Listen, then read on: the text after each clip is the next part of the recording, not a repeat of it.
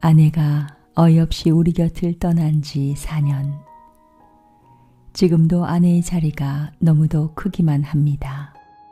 어느 날 출장으로 아이에게 아침도 챙겨주지 못하고 집을 나섰습니다.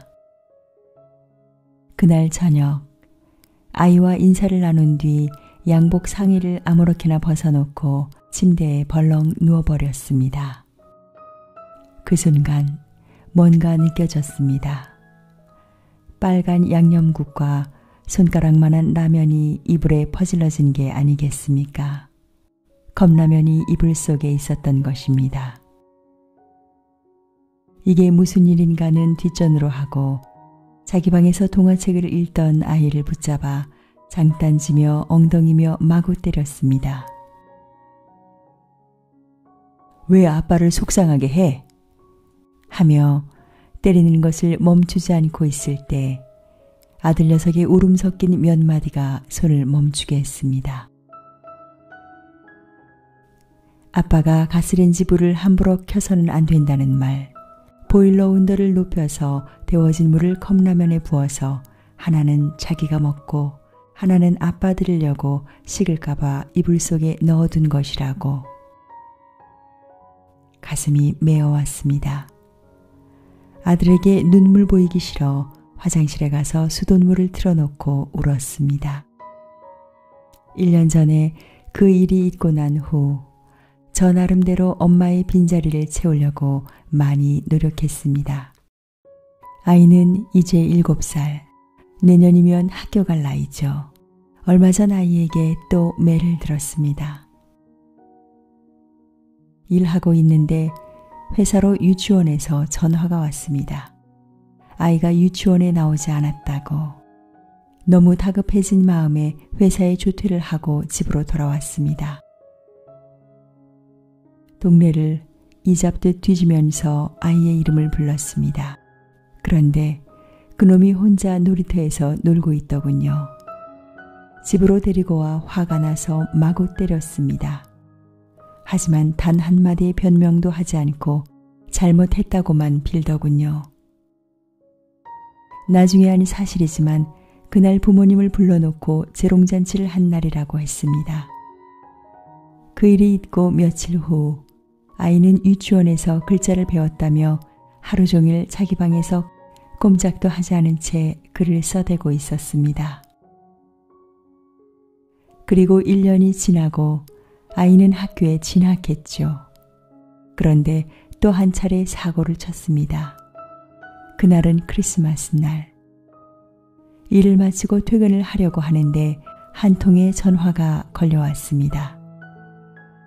우리 동네 우체국 출장소였는데 우리 아이가 주소도 쓰지 않고 우표도 붙이지 않은 채 편지 300여 통을 넣는 바람에 연말에 우체국 업무가 지장이 생겼다고 온 전화였습니다. 그리고 아이가 또 일을 저질렀다는 생각에 불러서 또 매를 들었습니다. 아이는 그렇게 맞는데도 한마디 변명도 하지 않은 채 잘못했다는 말만 하더군요. 그리고 우체국 가서 편지를 받아온 후 아이를 불러놓고 왜 이런 짓을 했냐고 하니 아이는 울먹이며 엄마에게 쓴 편지라고 순간 울컥하며 나의 눈시울이 빨개졌습니다. 아이에게 다시 물어보았습니다. 그럼 왜 한꺼번에 이렇게 많은 편지를 보내냐고. 그러자 아이는 그동안 키가 닿지 않아 써오기만 했는데 오늘 가보니 손이 닿아서 다시 돌아와 다 들고 갔다고. 아이에게 무슨 말을 해야 할지 몰랐습니다. 그리고 아이에게 엄마는 하늘나라에 있다고. 다음부턴 적어서 태워버리면 엄마가 볼 수 있다고. 밖으로 편지를 들고 나간 뒤 라이터 불을 켰습니다. 그러다 문득 무슨 내용인가 궁금해 하나의 편지를 들었습니다. 보고 싶은 엄마에게 엄마, 지난주에 우리 유치원에서 재롱잔치 했어. 근데 난 엄마가 없어서 가지 않았어. 아빠한테 말하면 엄마 생각 날까봐 하지 않았어.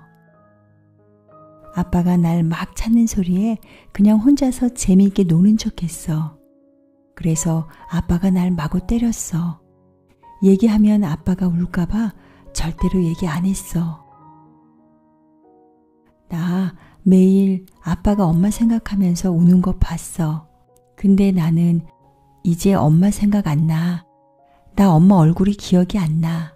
보고 싶은 사람 사진을 가슴에 품고 자면 그 사람이 꿈에 나타난다고 아빠가 그랬어. 그러니까 엄마, 내 꿈에 한 번만 나타나. 그렇게 해줄 수 있지? 약속해야 돼. 편지를 보고 또 한 번 고개를 떨구었습니다. 아내의 빈자리를 제가 채울 수는 없는 걸까요? 시간이 이렇게 흘렀는데도 우리 아이는 사랑받기 위해 태어났는데 엄마 사랑을 못 받아 마음이 아픕니다. 정말이지 아내의 빈자리가 너무 크기만 합니다. 혁수야, 아빠야. 우리 혁수한테 정말 미안하구나. 아빠는 그런 것도 하나도 모르고 엄마의 빈자리 아빠가 다 채워줄 수는 없는 거니? 남자끼린 통한다고 하잖아. 혁수야, 너 요즘에도 엄마한테 편지 쓰지? 아빠, 너 하늘로 편지 보내는 거 많이 봤다? 엄마가 하늘에서 그 편지 받으면 즐거워하고 때론 슬퍼서 울기도 하겠지.